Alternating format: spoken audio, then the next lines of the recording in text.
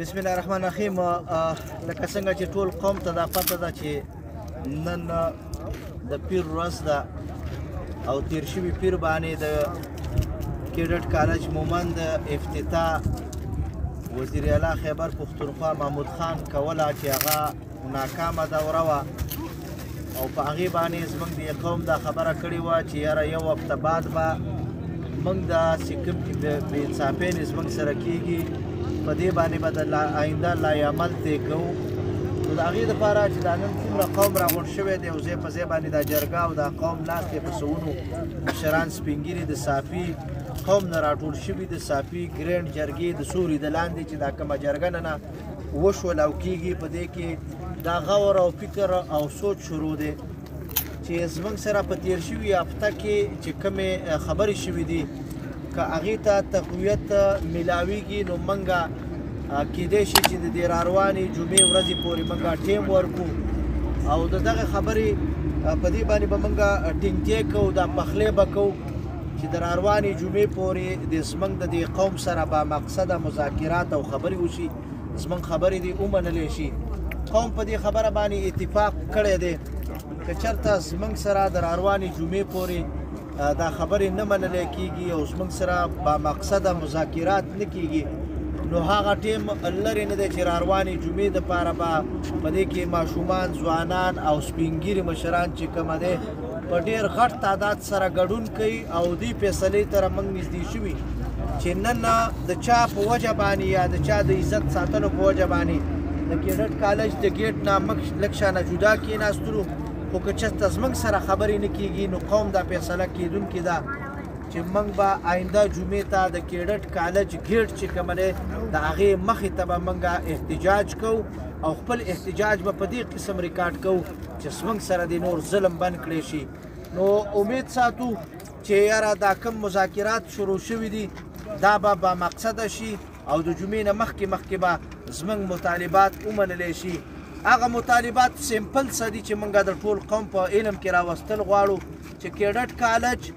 چې زمونږ د علم په مطابق باندې په بل ځای کې دومره غټ کېډټ کالج نه دی جوړ شوی چې په سونو ایکړه ځمکه چې کومه ده هغه زمونږ قبضه کړې ده قبضه ورته موږ په دې باندې وایو چې د دې ځمکې پیسې زمونږ دې قوم ته نه راکوي بیا په دې کې چې کومه لوکل خلکو ته کومه کوټه د هغې بچو ته میلاویږي طلباو ته میلاویږي هغه کوټه موږ ته نه راکوي دا هم زمونږ سره ظلم کیږي دلته چې لوکل خلکو ته کومې نوکریانې په کار داري چې نان ټیکنیکل چې څومره نوکریانې دي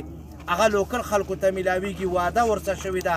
هغه لوکل خلکو ته کوټه چې کومه ده د نوکریانو هغه موږ ته نه میلاویږي هغه د ناوګۍ شوکت خان په ذریعه باندې د هغې خلکو ته میلاویږي او شوکت خان په دې باندې خوشحالوي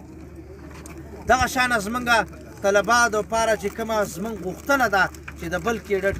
کوټه چې څومره ده دغه دې زما مومن ته هم ملاو شي نو په دې حواله باندې زمونږ قوم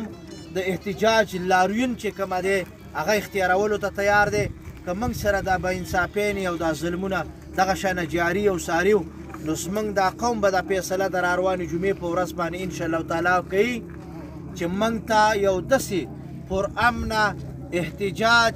یا لانګ مارچ چې ورته ویلی شي چې هغه به د ساپو نه شروع کېږي د مومن په دې خاوره باندې به روانېږي او بیا به دا چې کومه دی په پېښور او په نوښار او په دې علاقو باندې اسلام آباد ته به رسېږي موږ به دا زموږ سره چې کوم ظلمونه دي بیا به صرف د کیډټ کالج خبره نه په دې خاوره چې څومره ظلمونه شوي دي یا کېږي د دې ټولو خبره به بیا په اسلام آباد کې کېږي نو موږ دا الله چارواکي چې کوم دي هغوی ته دا وایو چې نه دې موږ په دې خبره باندې دا قوم مجبوروي چې د دې ځای نه روان شي او دغه ته اسلام آباد ته ورسیږي او بیا په دې خاوره چې کوم ظلمونه شي چې هغه بیان کړي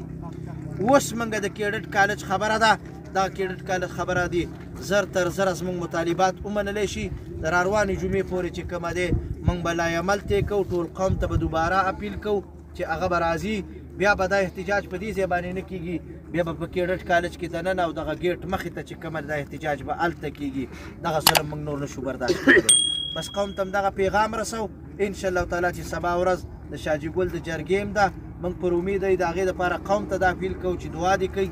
چې سبا به د دې